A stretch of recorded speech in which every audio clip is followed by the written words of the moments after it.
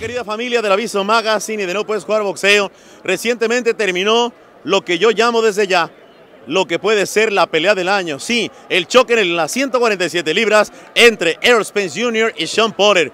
Recordemos que estaban en juego los títulos de las 147 libras, versión Consejo Mundial de Boxeo y Federación Internacional de Boxeo. La batalla fue de principio a fin y hubo entrega total. No hubo tregua, no hubo descanso, sino corazón con corazón. Como decimos los peleadores, se entregaron mirada con mirada, aliento con aliento, puño con puño, corazón con corazón.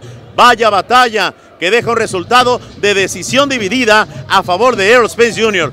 Dos jueces vieron ganar a Errol y un juez vio ganar a Sean Porter. La verdad que la caída me parece que marca la diferencia en una batalla que se antoja de revancha. Sí, hoy Errol Spence Jr. es el monarca del Consejo y de la Federación Internacional de Boxeo. Por ahí se subió al cuadrilátero Dani García diciendo yo quiero ser el siguiente. Sin embargo, repasemos los nombres de la 147. Está Manny Pacquiao, está Terence Crawford. Así es de que, señoras, señores, no olvidemos a Jordani Sugas y al mismísimo Keith Thurman. Insisto, desde ya puede ser la batalla del año, esto que nos acaban de dejar Errol Spence Jr., y nada más ni nada menos que Sean Porter. Ahora, hablemos de la coestelar de la noche, donde David Benavides literalmente destruyó con esa pegada, con esa juventud y con esa velocidad a Dirrell. Recupera el título, el bandera roja, el chamaco de Phoenix, el chamaco mexicano.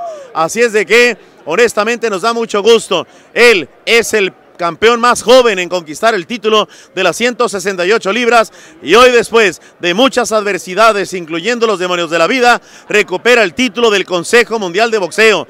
La pregunta es si sigue Caleb Land, si sigue Bolivita Oscategui o el mismo Canelo a futuro en la 168. Así es de que velada espectacular, insisto, aquí en el Staples Center. Como dato curioso, ahí vemos al fondo todavía pelear a Lindolfo Delgado, al que estaremos entrevistando más adelante. Le tocó ser la última de la noche, sin embargo este chamaco de Linares, México, lleva hasta el momento, la pelea no ha acabado, 10 victorias con 10 knockouts. ¿Qué vale resaltar también de esta velada? Y quiero platicárselos. El combate en las 147 libras entre el Rocky de Riverside, me refiero a Josecito López, y John Molina Jr. Desde que salieron los dos peleadores mexicoamericanos, salieron a entregar el corazón, porque sabían los dos, con 35 años rebasados, que podía ser una de las últimas oportunidades para irse por título del mundo.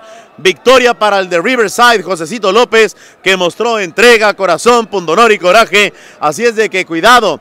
Otra de las victorias interesantes de la noche fue la de Robert Guerrero en base a carisma y corazón derrotó nada más ni nada menos que a su rival Jerry Thomas. Robert Guerrero se vio de manera maravillosa. Ganó también Fabián Maidana. Buena victoria para el argentino. Ganó Misael Rodríguez. Pero quiero cerrar este reporte desde el Staples Center diciendo que para mí, desde ya, tiene que ser candidata a pelea del año el tiro en las 147 libras entre Errol Spence Jr., que hoy tiene ya 26-0 con 22 knockouts, y Sean Porter, que si bien pierde por tercera ocasión, nos demuestra que está para cualquiera. Sí, mis respetos para Sean Porter, y habrá que decir que hoy Errol Spence Jr. tiene que estar en la ecuación de los mejores libra por libra del planeta. Así es de que un fuerte abrazo de parte de su amigo Ernesto Amador desde este bellísimo Staples Center en el corazón de Los Ángeles, California. Muchas gracias. Si te gustó nuestro contenido, suscríbete a nuestro canal. Y si no te gustó, también. No puedes jugar boxeo.